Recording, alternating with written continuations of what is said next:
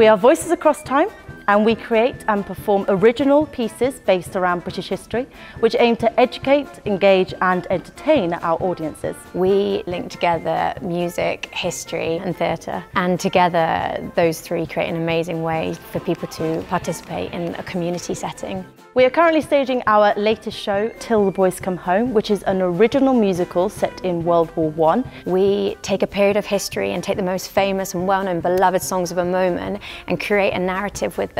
Till the Boys Come Home is an original musical which we've written and threaded in songs from the time in different arrangements so that they help to tell the story. And there's a really broad mix of community songs as well as some classical songs and it's been really exciting to engage audiences who usually wouldn't engage with that kind of classical repertoire in a theatre setting. For this show, we've brought everything into this venue, Banbury Town Hall, but we can take it into any venue as we go along the road. Voices Across Time also do a lot of work in community outreach. We do a lot of work in schools and in care homes. Our work in schools is very much focused on the educational side that music can bring. So we've run workshops in eight schools over the course of the week leading up to our Till the Boys Come Home performance. And the children learnt several of the songs that were going to feature in the musical, they met the characters and they started to understand the emotions that the characters might portray. It was really fantastic to see today how the students who are watching viewed the characters and the way they changed throughout the musical.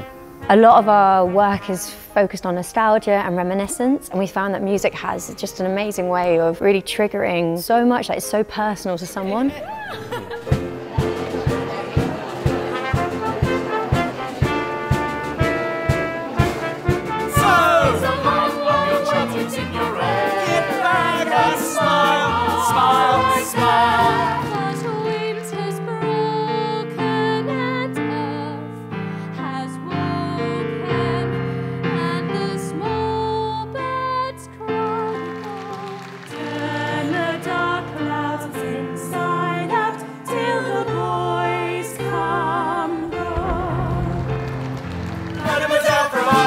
She has been kissed in 40 years.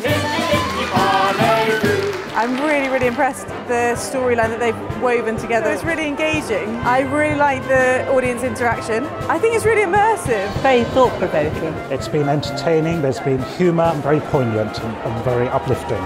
Quite engaging and I mean that in a very profound way. There's emotional elements, fun elements, the songs are great, and you can see how it shaped the culture of our country as well. The singing is wonderful. I mean, they sing so beautifully together. It's just a really slick production in a non-theatre space. Come and see it, have a sing-along. Come along and see it. It's so worthwhile. I think it's thrilling. They're fantastic.